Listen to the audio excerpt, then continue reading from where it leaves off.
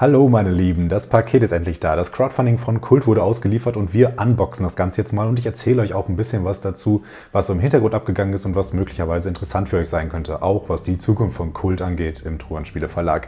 Also, legen wir los. So, schauen wir mal, das schicke Paket braucht ein angemessenes Messer. Wer weiß, was da rauskommt aus diesem Tor zur Hölle.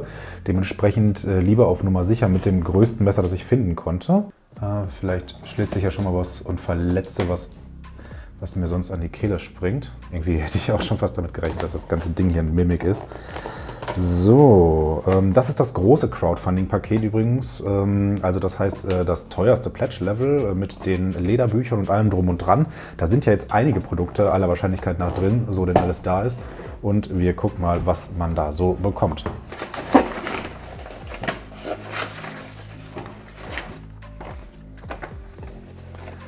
So, erst einmal ein Lieferschein mit allen elf Artikeln, die es da gibt. Also das heißt die limitierte Edition von Die verlorene Göttlichkeit, Crowdfunding-Paket, Spielleiterschirm, Schwarze Madonna limitiert, Tarotikum limitiert, Archetypenset, Galerie der Seelen, Echos der Vergangenheit, der Box Sammelschuber, das Tarotikum Kartenset und das Referenzkartenset. Das ist also alles jetzt mit da drin. Damit ist übrigens das, was man hier bei Kult bekommt, insgesamt das größte Paket, was bei Truhenspiele jemals überhaupt mit einem Schlag rausgekommen ist. Ich glaube sogar insgesamt das größte Paket. Ähm, sowas hat er bis jetzt noch nicht gemacht. Das ist aber auch das erste Crowdfunding von Mario gewesen. Im Moment klingt es leider so ein bisschen so, als wäre es möglicherweise das letzte, mh, hm, weil da so ein paar Ungereimtheiten waren. Da gehe ich gleich mal drauf ein. Ich werde übrigens, weil es ja schon ein Video gab, in dem ich die äh, drei Bücher in der Originalfassung, also ich habe ja jetzt gleich die Crowdfunding-Varianten da, aber es gibt ja sozusagen die normale Handelsvariante. Das ist äh, hier einmal das Tarotikum, so wie es im Handel stehen wird. Ähm, so könnt ihr das Ganze dann kaufen für, äh, wie ihr hinten sehen könnt, den Kurs 49,95. Dann gibt es ja außerdem noch die äh, Schwarze Madonna. Schwarze Madonna hier einmal. Das kostet äh, genauso viel. Also das Tarotikum ist äh, eine Geschichte, ein Band mit sieben Kurzgeschichten. Die Schwarze Madonna ist ein eine große Kampagne, äh, auch 49,95. Da werde ich jetzt inhaltlich auch nicht nochmal drauf eingehen. Und dann haben wir natürlich das Grundregelwerk selber für Kult, die verlorene Göttlichkeit. Das ist dieser dicke Schinken hier. Und äh, der kostet, wie ihr sehen könnt, 60 Euro ungefähr. Also diese drei Bücher, die sind auch gleich in meinem Paket hier mit drin, wie ihr sehen könnt, allerdings in der limitierten Version, die man für das Crowdfunding ähm, naja, erwerben konnte oder im Rahmen des Crowdfundings, die man so im Handel nicht finden wird später. Das heißt, sie werden auch jetzt schon einen Sammlerwert sozusagen entwickeln, sobald die Leute heiß auf sowas werden. So, ich muss noch mal einmal ein bisschen umbauen, dass man sehen kann, was hier eigentlich aus der Box rauskommt.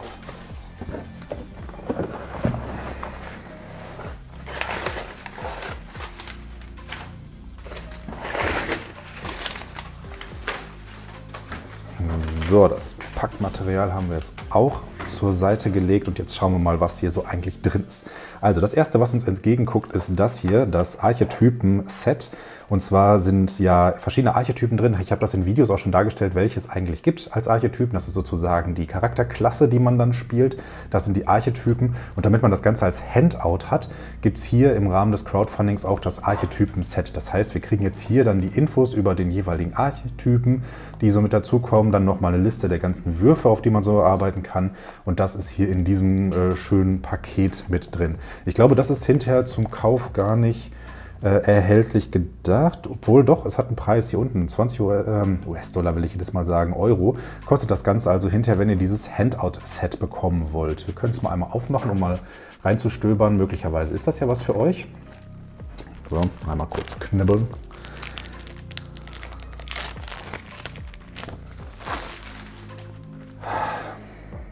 So, jetzt ist es ausgepackt. Jetzt wird es auch nicht mehr ganz äh, so friemlich sein. Das ist ein Coverblatt. Auf der Rückseite ist es, wie ihr sehen könnt, weiß. Und hier haben wir jetzt dann gleich den ersten äh, Archetypen, den Agenten, den wir hier beschrieben haben. Beruf, dunkles Geheimnis, Nachteile, die, aus denen man wählen kann, Vorzüge.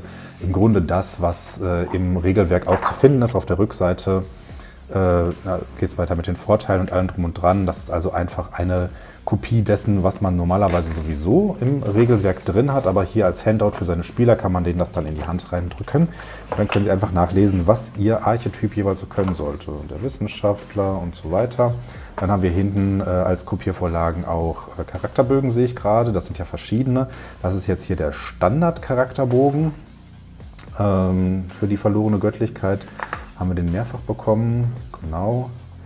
Ähm, es gibt ja auch noch sozusagen abgewandelte für, äh, wenn man nicht nur einfach ein, ähm, jemand ist, der durch den Schleier sehen kann, sondern der bereits erleuchtet ist und dementsprechend sich über mehr Dinge gewahr ist. Ähm, der ist hier jetzt allerdings in der abgewandelten Variante, glaube ich, gerade nicht mit dabei. So, dann haben wir hier die ganzen Spielzüge nochmal als Handout. Das sind sozusagen die Attributswürfe. Also jedes Attribut hat ja dann sozusagen einen Spielzug, der dahinter liegt, wie ein Talent. Ähm, das ist praktisch deckungsgleich, wann man darauf werfen muss. Und äh, diese Spielzüge, wenn die dann jetzt also gezogen werden, sind hier einmal beschrieben und dann entsprechend, was passiert bei einem vollen Erfolg, bei einem teilweisen Erfolg oder bei einem Misserfolg. Die können teilweise dann ausgetauscht werden durch die Vor- und Nachteile. Hier haben wir also die Spielzüge auch noch in ausreichender Kopie für jeden Spieler, dass er das einmal vor sich liegen haben kann, um sich das anzugucken. Ja, das sind die Handouts. Äh, perfekt für die Spielgruppe, die noch unerfahren ist, beziehungsweise wenn nicht alle das Buch haben sollten. Dann kriegen wir hier, wie wir sehen können, das Crowdfunding-Paket Handouts Schwarz-Weiß für Tarotikum und die Schwarze Madonna. Das heißt, alles, was es an Handouts in den äh, Büchern gibt, ist hier auch noch mal einmal drin. Äh, wir können es auch mal einmal aufmachen. Das kostet dann äh, 15 Euro, steht jetzt hier drauf, wenn das später so in den Verkauf gehen sollte. Also ich gehe davon aus, dass es so zumindest nicht sein wird, weil äh, setzt ja voraus, dass man Tarotikum und die schwarze Madonna hat. Ah, perfekt. Außerdem, äh, man konnte im Rahmen des Crowdfundings auch äh, über verschiedene Pledge-Level Plakate bekommen. Äh, und zwar von den, äh, von den Covern. Und hier ist jetzt also das Plakat für ähm, das Grundregelwerk.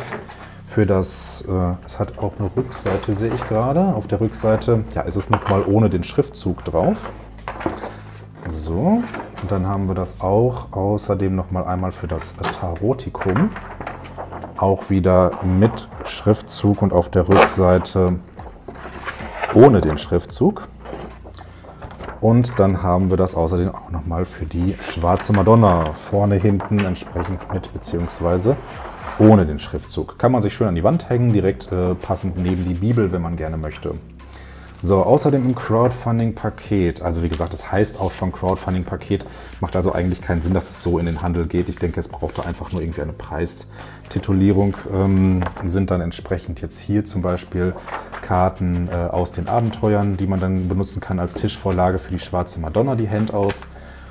Und äh, mit den Waffen und allem drum und dran, wer da schon mal reingeschaut hat, die fertigen Charaktere, die da drin sind und das Ganze für das Tarotikum. Also ich habe es verkehrt herum aufgemacht. Es geht also mit dem Tarotikum los und dann kommt die schwarze Madonna. So, wunderbares Paket, gefällt mir sehr, sehr gut. Äh, sehr cool schon mal. Dann schauen wir weiter. Ihr seht jetzt hier einmal die Tarotkarten.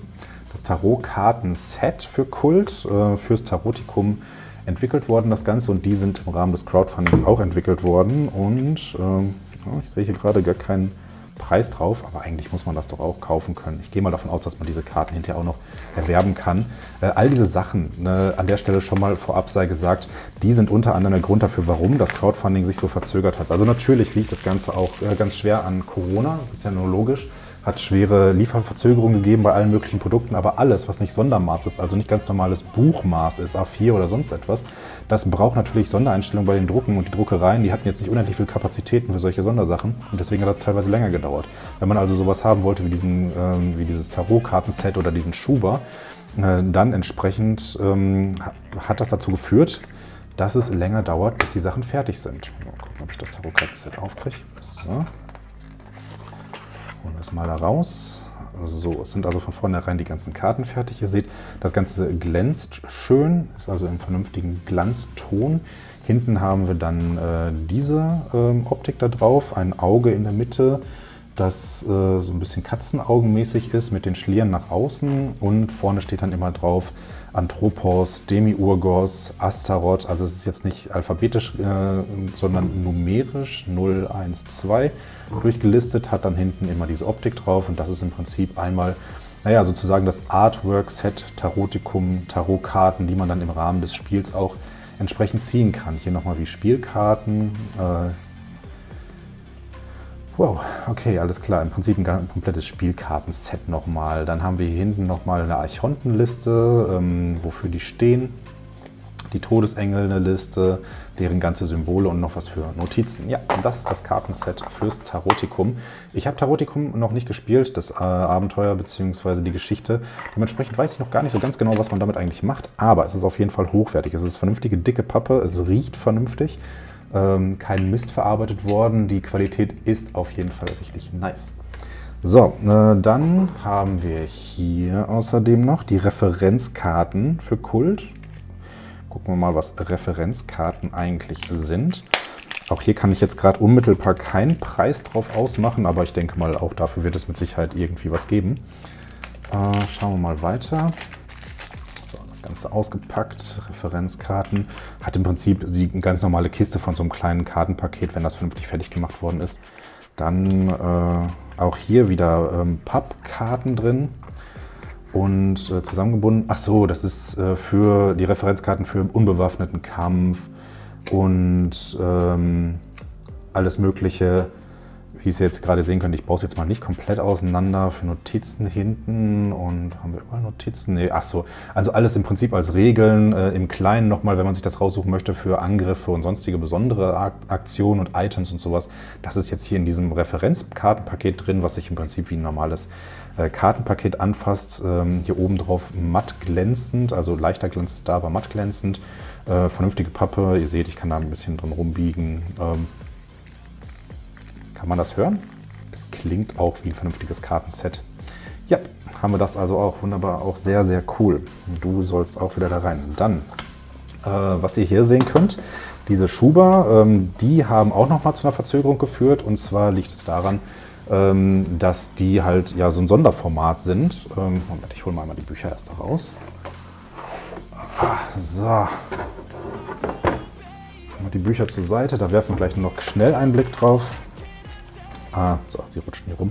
Also dieser Schuber für den Meisterschirm und die drei Bücher, den kann man hinterher dann entsprechend auch kaufen, wie ihr sehen könnt, für 15 Dollar. Da ist hier einmal das Abbild von der schwarzen Madonna drauf. Auf der Seite nochmal die drei Cover, Regelwerk Schwarze Madonna Tarotikum. Dann hier vom Grundregelwerk das Cover, hier einfach nochmal Kult drunter.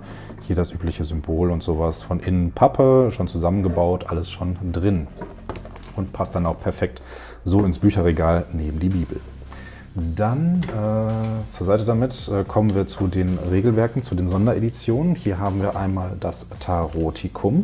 Ihr seht jetzt hier, das ist der Ledereinband. Ich lege mal gleich das andere daneben, einfach nur, dass man es nochmal sehen kann. So. Russ aus der Hülle. Ups. Hinten ist noch so ein Zettel drauf, dass das, äh, also im Prinzip die Beschreibung hinten, die sonst auf dem Buch drauf wäre, denn hinten haben wir jetzt einfach nur nacktes Leder. Auf der Seite Truan-Spiele, den Titel des Ganzen und das hier. Äh, es fasst sich extrem geil an, also es ist richtig schönes Kunstleder auf jeden Fall. Wir haben die schöne rote Schrift hier mit drin. Ich habe schon gehört, die ist teilweise bei manchen Leuten ein bisschen fehlerhaft bzw. platzt weg. Ähm, aber für mich sieht das jetzt gerade erstmal extrem wertig aus. Wie ihr sehen könnt, sie spiegelt auch ein bisschen. Also richtig, richtig schick. Und wenn man es dann aufschlägt, erst eine schwarze Seite, das Innenbild, Tarotikum und andere Erzählungen. Und dann geht es los mit dem Buch. Und wir gucken mal, ob hinten, denn äh, was jetzt hier scheinbar der Fall ist, das äh, Cover ist ja manchmal in solchen Sonderbänden irgendwie mit eingefasst worden, ist jetzt hier nicht der Fall. Wir kriegen also das Cover-Artwork nicht mit dazu geliefert. Wir haben also das Tarotikum jetzt praktisch in der Ledervariante und ähm, dann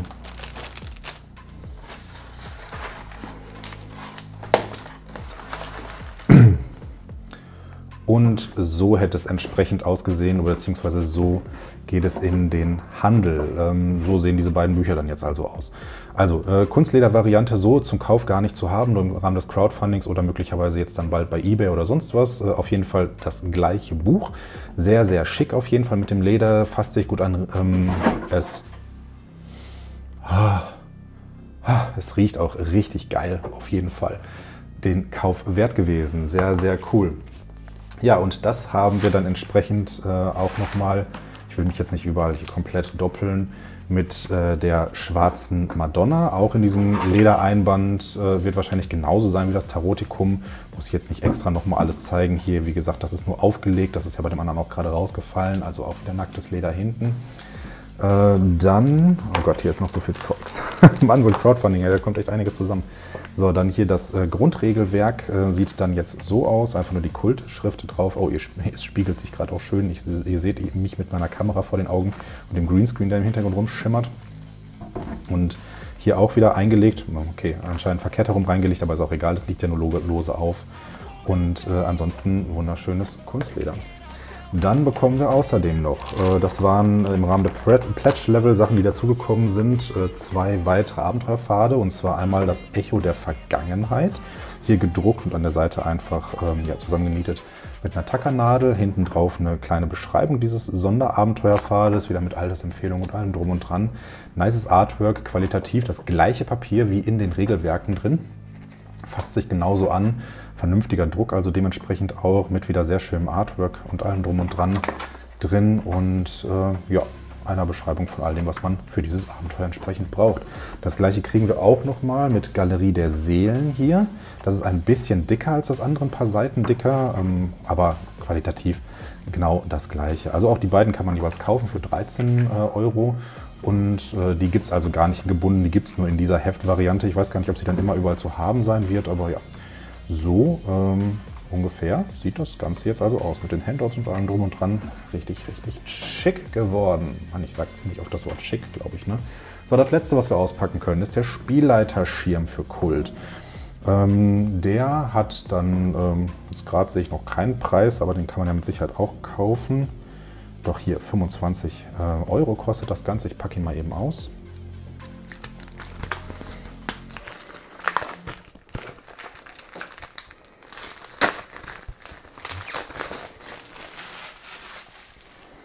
Okay, das, was man jetzt hier gerade sehen konnte, der Spielschirm, das ist nur aufgelegt gewesen, das Papier. Das ist also nicht auf dem Schirm selber, denn das hier ist der Schirm selber. Und äh, das, was ihr jetzt hier sehen könnt, ist dann also die Außenfassade von dem Ganzen. Ne? So sieht es äh, nach außen aufgeklappt aus und äh, die beiden äh, mittleren Seiten davon, die Flügel. Wenn ich es jetzt einmal aufklappe, so, aufgeklappt. Das Ganze ist äh, nicht ganz A4 hoch, ähm, wie ihr sehen könnt, sondern einfach die Buchseitenhöhe. Wir haben auf der einen Seite die Spielleiterspielzüge nochmal beschrieben reguläre Spielzüge, Elysium, Wahnsinn und äh, sonst so ein Krams, was einem so anfallen kann. Der Horrorvertrag nochmal eine Erinnerung, was ja eine ziemlich wichtige Sache hier ist bei Kult, dass man den auf jeden Fall berücksichtigt. Dann haben wir hier die Regeln nochmal, Schaden vermeiden, zusammenreißen und sowas. Also das, was man auf den Referenzkarten und dem Regelwerk auch finden kann zu Schadensarten. Äh, Erfahrungspunkte nochmal ein kurzer Hinweis, Beispiele für Schaden. Kann man natürlich auch nur mit Beispielen machen. Dann Nichtspielercharaktere erschaffen dass man jetzt ja praktisch einfach was hat, wo man dann jeweils einen Finger drauflegen könnte, praktisch blind und dann kriegt man einfach eine Info, alphabetische Reihenfolge dabei und äh, Spielzüge für Beziehungen, wenn es also darum geht, äh, dass man jemanden unterstützen oder jemandem schaden möchte, zu dem man eine Beziehung hat, wie sich das dann auswirkt.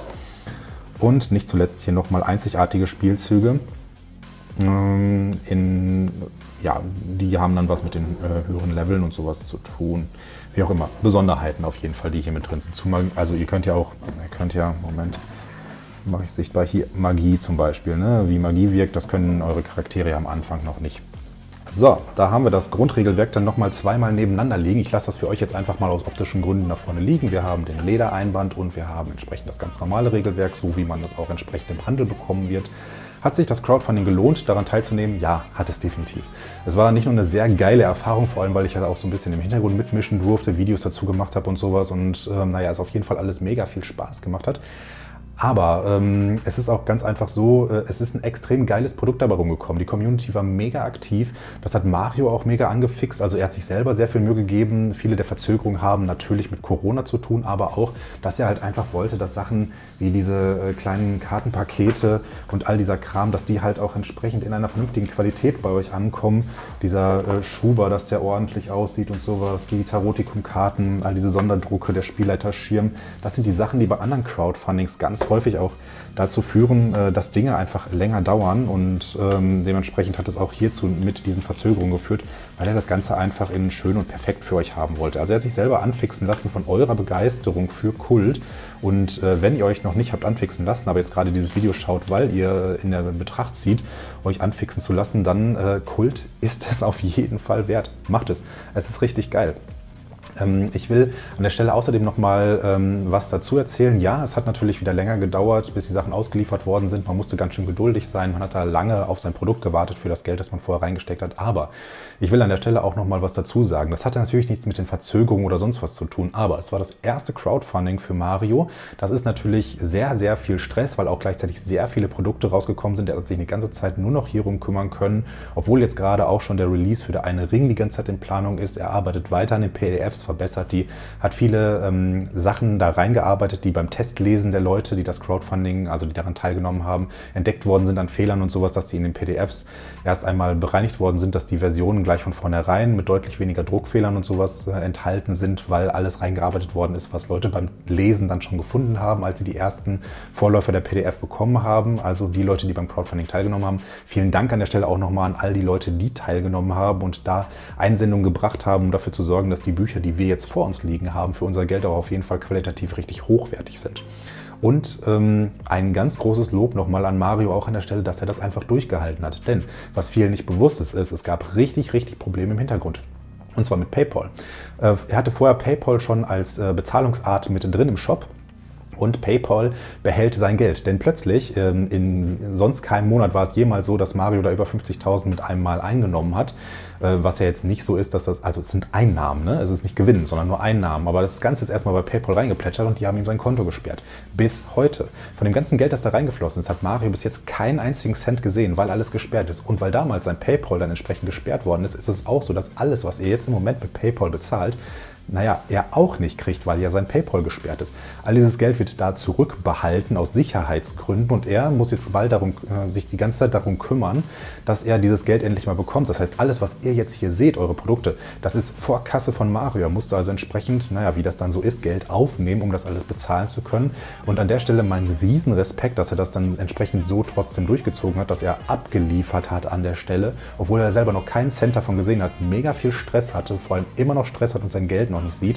Und das ist auf jeden Fall ein riesen, riesen Gewinn für die Community, den er da reingebracht hat mit so einem geilen System, aber auch eine riesen Herausforderung, der körperlichen und seelischen Stress produziert. Und deswegen möchte ich euch wirklich bitten, lobt ihn mal dafür. Er hat das wirklich, wirklich gut gemacht. Schreibt ihm, bedankt euch, sendet ihm Nachricht bei äh, Facebook, bei Instagram oder sonst wo, einfach nur mal als zusätzliches Dankeschön, dass er das alles so für uns durchgezogen hat. Denn das hat er für uns gemacht und weil wir ihn so angesteckt haben mit unserem Hype um Kult, dass das Ganze so gelaufen ist. Jetzt noch so ein letzter Punkt, was geht eigentlich die Zukunft von Kult dann entsprechend an? Schwer zu sagen im Moment. Es hängt davon ab, was ihr so macht. Wenn ihr richtig viel Werbung für Kult macht und Leute geil darauf werden, das Zeug kaufen und es richtig gut Absatz produziert, dann wird das natürlich dazu führen, dass weitere Produkte möglicherweise auch folgen werden. Es ist ja so, dass man eine Lizenz kauft für einzelne Produkte und er muss dann entsprechend für die Produkte, für die er sie noch nicht hat, die zusätzlichen Lizenzen holen, so wie das zum Beispiel bei diesen Abenteuerfaden war. Das war ja am Anfang noch gar nicht geplant, dass zum Beispiel so etwas wie die Galerie der Seelen mit dazukommt. Diese Lizenz hat er also im Rahmen des Crowdfundings oder währenddessen dann nachgekauft, damit das Ganze dann auch für euch ausgedruckt werden konnte und damit zusätzliche Produkte von Kult bald rauskommen, passiert also genau das Gleiche. Er muss da also die Lizenz auch erweitern, beziehungsweise die Lizenzen für diese Produkte erwerben. Und damit sich das Ganze dann dementsprechend lohnt, funktioniert das Ganze natürlich nur, wenn entsprechend auch ähm, naja, Geld reinkommt und das Ganze gekauft wird, die Nachfrage einfach da ist. Ihr könnt die Nachfrage damit erhöhen, dass ihr entweder die Sachen, wenn ihr sie nicht eh schon habt, kauft oder aber, dass ihr vielleicht, wenn ihr sie schon habt, Werbung dafür macht, dass andere sich da auch einschalten. Immer wieder nachfragen, nachhaken, sagen, hey Mario, wir hätten dies und das und jenes gerne. Vielleicht auch einfach mal schon ein bisschen Stimmen zusammensammeln. Wir hätten hier einen ganzen Haufen Leute, ähm, die Bock auf irgendwas hätten. Kannst du dieses Produkt auch noch bringen? Ein bisschen Hype in der Community erzeugen, dass er das Gefühl hat, dass es sich auch lohnt und dass da Ansprechpartner und Abnehmer für das Ganze sind. Dann können wir uns auch auf relativ sichere Art und Weise darauf freuen, dass es in Zukunft mit Kult auch weiter erfolgreich weitergehen wird, mit den Sachen, die ihr sonst im englischsprachigen Raum zum Beispiel dazu jetzt noch finden könnt. Ich hoffe, das Unboxing war interessant für euch, die zusätzlichen Infos hinten raus ähm, für euch, naja, informativ, wie Infos das hoffentlich so sind. Mir hat das Ganze mega viel Spaß gemacht. Ich bin ein bisschen traurig, dass das Ganze jetzt sozusagen fertig ist. Ich freue mich aber auch mega, dass ich das Paket endlich bekommen habe. Ich habe schon ein paar Kultrunden gespielt. Es ist ein sehr geiles System. Es ich kann es absolut nur empfehlen, dass ihr es mal ausprobiert, wenn ihr es noch nicht gemacht haben solltet. Schaut auf den Server von Lurch und Lama, ob ihr eine Gruppe findet oder auf den Hit-Dice-Server oder auf den Server von Touranspiele, den ihr auch in der Videobeschreibung unten finden könnt. Da gibt es auf jeden Fall immer viele Interessierte, mit denen ihr das Ganze mal durchboxen könnt, um rauszufinden, wie viel Spaß euch diese Höllenerfahrung Kult so machen kann. Ich wünsche euch noch einen wundervollen Tag, großartige Abenteuer und wir sehen uns im nächsten Video.